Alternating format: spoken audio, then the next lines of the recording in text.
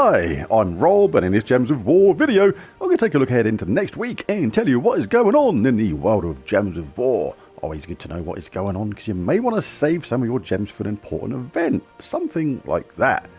Anyway, I went to a restaurant last night and ordered a bit too much and couldn't quite eat it all. And then the woman came up to me and she said, Do you want a box for your leftovers? I said, No, but I'll wrestle you for them. Har har. Right, anyway, last chance to grab Living Rhyme from the Glory Shop. Pretty cool troop. Haha.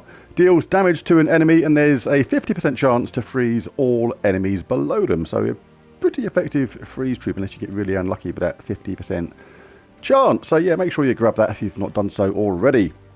So, starting Monday, we have a new Soulforge. I'll be doing my Soulforge video on Monday, telling you what I think are the best weapons and indeed the best troops to craft from there.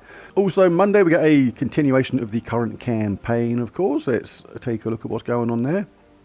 Nothing fantastic in the free pass. Glory keys, some basic keys, some cursed walnuts, some gem keys. Meh.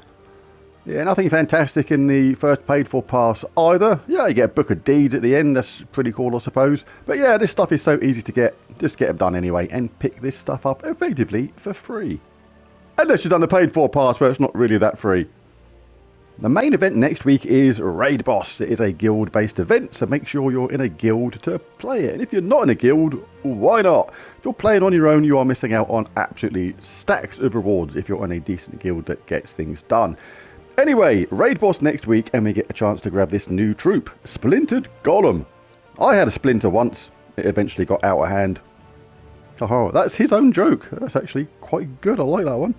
Anyway, Dark Slam is the spell, deals magic plus 4 damage to an enemy, and if they're a boss deal 3 to 5 times damage based on your ascensions, and explode 3 web gems. Uses green and purple with a mana cost of 12. The first trait is Slippery, immunity to web, Second one is Bark Skin, reduce damage from skulls by 33%, woof woof. And the third one is Godslayer, of course, deal 3 to 5 times damage versus bosses, based on my ascensions. Monday also means a new Underspire, and I'll be showing you my Underspire team on Monday as well.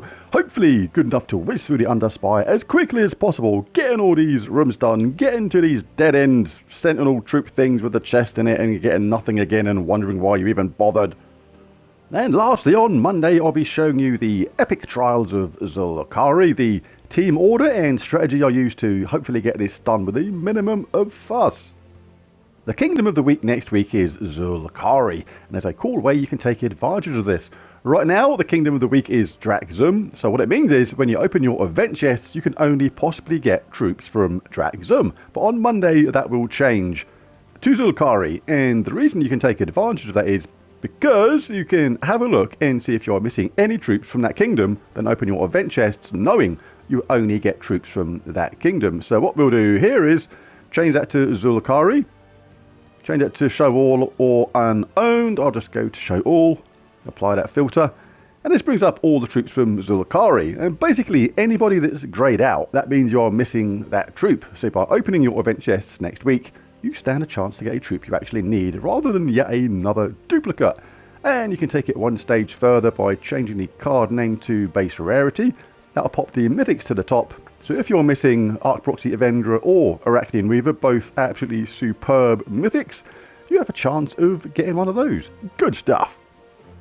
On Tuesday, we have a faction assault in Eldrazor, so a chance to grab some more shards if you need to, open some more portals if you're missing any troops, get that horde level up if you need to, and do some more delves, getting this towards level 500.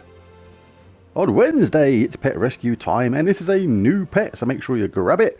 Avendra's Tome. Its colour is purple and it gives a single troop bonus to Arc Proxy Avendra, but that is all the information we have on it right now. So a little bit of mystique behind that, but we'll know on Wednesday.